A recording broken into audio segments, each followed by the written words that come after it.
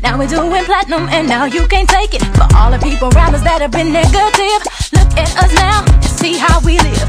All the things I'm doing that you thought I never could. I want you to know